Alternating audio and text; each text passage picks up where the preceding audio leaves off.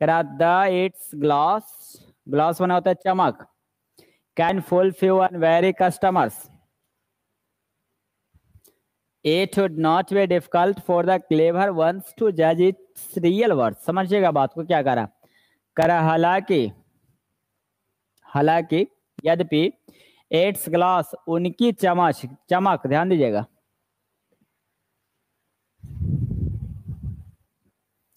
देखिएगा। हालाँकि इनकी चमक चमक, ये चमचमा रहा पूरा। हालाँकि इनकी चमक, एट्स ग्लास, इनकी चमक, can fool few very customers. कुछ अनजान ग्राहकों को मूर्ख बना सकता है।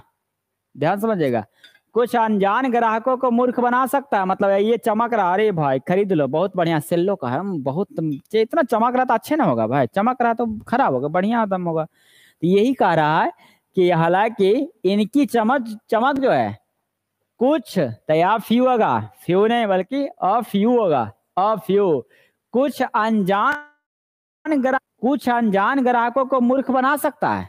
इनकी चमक जो है, कुछ अनजान ग्राहकों को मूर्ख बना सकता है। जिसके पास जानकारी नहीं, उस ग्राहकों को मूर्ख बना सकता है। फिर भी फिर भी, लेकिन it would not be difficult for the clever ones कह फिर भी। टू जज इट्स रियल वर्थ वही सेंटेंस कह रहा है कि हालाँकि इनकी जो चमक है कुछ आ, कुछ अनजान ग्राहकों को मूर्ख बना सकता है। लेकिन वही चलाक ग्राहक के लिए क्लेवर वंस वंस वन हुआ कस्टमर वही चलाक ग्राहकों के लिए चलाक ग्राहकों के लिए इसके रियल वर्थ का आकलन करना डिफ़िकल्ट नहीं होगा। नहीं होगा आसान से जो चलाक ग्राहक को आराम से हाँ भाई भाई सेल्लो कही तो तीन सौ रुपया हम देवे करो है। तो सो ठक लिया झूठे चमचमा के कहा के तीन तीन हज़ार रुपया ठक लिया। है ना? तो वही कह रहा है कि हालाँकि इनकी जो चमक है, कुछ अनभिज्ञ ग्राहकों को मूर्ख बना सकता है। ठक सकता है, लेकिन लेकिन इसकी वास्तविक मूल्य को आकलन करने के लिए चलाक ग्राहकों को चलाक ग्राहकों के लिए इसका वास्तविक मूल्य का पता लगाना कठिनाई नहीं होगा।